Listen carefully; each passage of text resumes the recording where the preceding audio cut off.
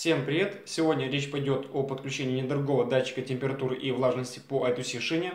Кому интересно, что происходит, когда мы отправляем запрос к датчику и как он нам отвечает, то под видео будет ссылка, где я уже об этом говорил. Мы не будем отправлять данные на народный мониторинг, как это делали ранее, и не будем подключать никаких дисплеев.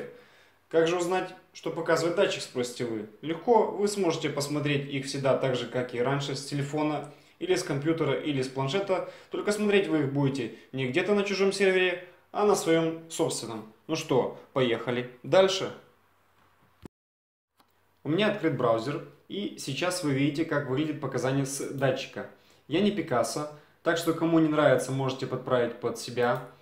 Обновить показания можно, нажав на ребут. Остальное время ESP будет ждать, э, пока вы ему не отправите эту команду. Давайте Посмотрим, что происходит на самом деле, когда вы нажимаете на ребут. Э, браузер это тоже программа, и когда вы сюда нажимаете, она знает, каким образом отреагировать на ваши действия.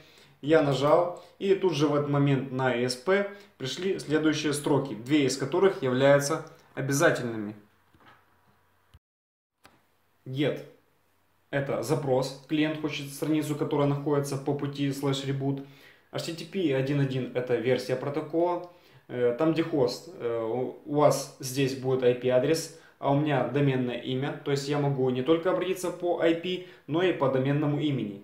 На одном IP может быть много веб-сайтов, э, все это сделал я на роутере. Также я забил для ESP постоянный IP, дабы после перезагрузки не приходилось лезть в роутер и смотреть какой IP. У ESP есть MAC адрес, и когда DHCP сервер увидит его, он заранее выдаст ему зарезервированный IP.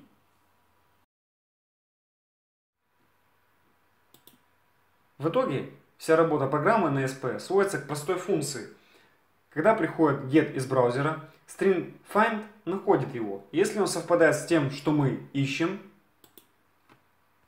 то браузеру мы вернем следующие заготовленные строки.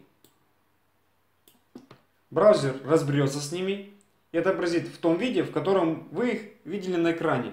Ну что, всем пока, ставьте мотивацию под видео и оставляйте свои комментарии. Если вы понятия не имеете, как залить прошивку, это не беда. Под видео будут ссылки, где я об этом уже рассказывал. И можете мне поверить, у вас все получится.